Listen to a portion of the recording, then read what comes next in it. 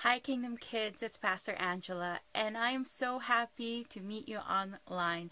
I miss seeing you in person, but we are all keeping safe and healthy in our homes. Isn't God great that we can learn about Him anywhere we are? So let, let's keep doing that. We have been learning about God is our friend and reading the stories about how Jesus were was friends to different people. First we learn about Jesus and the little children. Do you remember that? Jesus said, "Let the little children come to me." And like those little children, we can come to Jesus by learning about him even if we don't get to go to the church, the actual building of our church. We're here online, so that's great. And then we learn about Jesus teaching Martha that the most important thing is to spend time with him. Then we learn about Lazarus, um, the brother of Martha and Mary, and how Jesus raised Lazarus from the dead so that other people can have faith and believe in God. Isn't Jesus amazing? Well, we have one more Bible story about how um, God is our friend and another person that is a friend of Jesus. We are going to read a Bible story from the book of Luke, chapter 7, verse 36 to 50. If you can read on your own, you can pause this video to read straight from your own Bible or your Bible app, or you can listen along. I'm actually going to read from a children's Bible called the Bible Storybook. This is called The Two Debtors. You ready? Jesus was eating with a Pharisee named Simon. While he was eating, a woman cleaned Jesus' feet with tears, her hair, and very expensive perfumed oil. Simon was unhappy that Jesus let the women do this to his feet. Jesus chose to tell Simon a story to help Simon better understand why Jesus let the women clean his feet. Jesus said, Two people owed a money lender money. One person owed enough money to pay 500 people for a day's work. The other person owed enough money to pay 50 people for a day's work. They could not pay back the money. The lender didn't make them pay any of the money back. Who do you think was the most thankful? Who do you think was the most thankful? Simon answered, The one who owed the most money. Do you think Simon was right? Do you think the person who owed the most money was the most thankful? Yeah, that's right. Let me tell you a little bit uh, more about the Bible story and some background information. See, in the Bible times, the good thing to do when people visited your house is to wash their feet. Think back. There were no cars, no buses, no planes, no trains. There were donkeys and horses and camels. There were wagons. And there was a lot of walking. Can you imagine walking so much on dirt roads?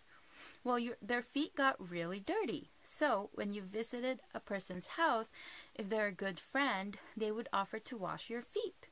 When Jesus went to Simon's house, Simon did not offer to wash Jesus' feet. Simon wasn't really being a good friend, was he? But the sinful woman was. She washed Jesus' feet with her tears and expensive perfume, and then she used her hair to dry his feet. Can you imagine using your hair to dry somebody's feet? Well, the sinful woman honored Jesus when she did this. Honoring Jesus is showing him how much you love him. How can you show Jesus that you love him? What are some of your ideas? Do you think the sinful woman loved Jesus a little or a lot? It's a lot. That's right. She loved Jesus a lot. And Jesus said the sinful woman was forgiven and her faith saved her. Isn't that amazing? I want to show you my most expensive bottle of perfume. Are you ready? What do you think it looks like? Big, little, glittery, not glittery? Is it colored? Is it not? Well, here it is. Here it is.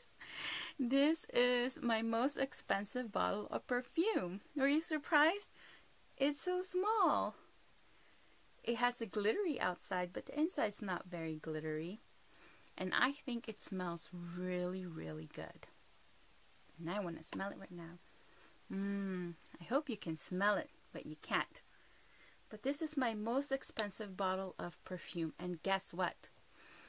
It was a gift. Yep, I didn't pay for it. It was a gift. Do you know that Jesus gave us a gift? A very expensive gift that seems very small. This is the same gift Jesus gave the sinful woman. Jesus forgave her and he said, Your faith has saved you. If we have faith in Jesus and ask Jesus to forgive us, he will forgive us and He will save us. It seems so simple, like this little tiny bottle of perfume, but it's the best gift we can ever receive. Isn't Jesus great? Do you remember what our Bible memory verse for the month is? It's John 15:14. You are my friends if you do what I command. Let's say that together. You are my friends if you do what I command. John 15:14. Good job. One more time by yourself.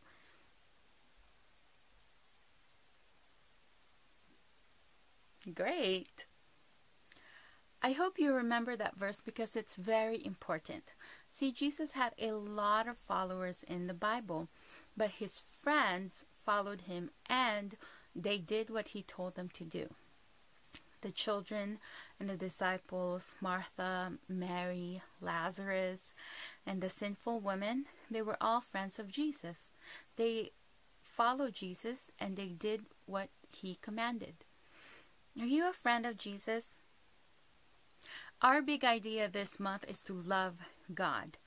We love God by spending time with Him. There are many ways to spend time in God, and one of those ways is worship. When the sinful woman washed the feet of Jesus, she was worshiping him. How can you worship Jesus? You can sing songs to him, that's right. Worship is telling God how awesome he is, thanking him for all the good things that he does. What are some things you can thank God for? You can thank God for your life, your family, your toys, your food, your friends, your church, so many things, right? God is very awesome. Can you say that? God, you're awesome. You're amazing. You're great. This week, I have a challenge for you. Every time you pray, I want you to tell God how awesome He is by using the alphabet. So, for example, we start with the letter A. God, you are awesome or amazing. B, God, you are the best. C, God, you are cool. Hmm, what other words can you think of? So, when you tell God He's great and He's awesome, use the alphabet. Can you remember that? Hey, leave some comments below in, in this video and let's go through the alphabet. God is awesome, God is the best, God is cool, What's letter D? Let's try to go all the way to letter Z, okay? Great. Now, I also have a craft for you to do. So ask your parents to help you download this craft from the link in the description. Let's see if you can see it. Okay, it looks like this. You're going to color it and then you're going to cut around the vase. And there are instructions on this so you can ask your parents to help you follow it. But the vase gets attached to the feet. Now it says to use brad fasteners. If you don't know what that is you can ask your parents. But if you and then if you don't have brass fasteners you can use yarn that or a string that works too. Well, thank you so much for joining us online and learning about Jesus and the sinful woman and how we can worship and honor Jesus. I hope that you guys will have a wonderful rest of your day and a blessed week. You can always connect with us online here, facebook.com slash HICC Kingdom Kids. if you need any help or any questions, let us know. And let us end this with prayer. God, we just want to say thank you that we have the internet that to connect with each other and to learn about you in this time of need in all around the world. Um, Lord God, we just pray that you heal every everyone who is sick with the virus and keep everybody safe, and that you use your power to get rid of this virus and this pandemic in the name of Jesus. We pray, Lord God, that you protect every single person, that there's no more um, no more people who will get infected who or who will get sick. Lord Father, we thank you for giving us peace and hope and joy.